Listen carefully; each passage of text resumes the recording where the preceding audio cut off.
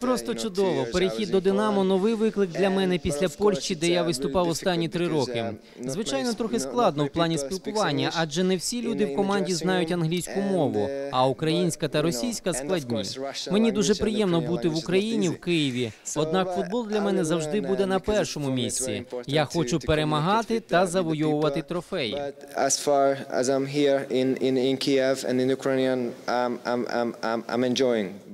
Я uh, дуже чекав на цей момент. У попередньому матчі тиждень uh, тому я перебував на лаві запасних та не брав uh, участі в поєдинку із Зорею. Було дуже складно спостерігати the- збоку, як хлопці грають, не uh, маючи можливості їм допомогти. Але я наполегливо тренувався весь цей тиждень. Багато працював, щоб отримати шанс зіграти з Олімпіком, вийти на заміну або у стартовому складі.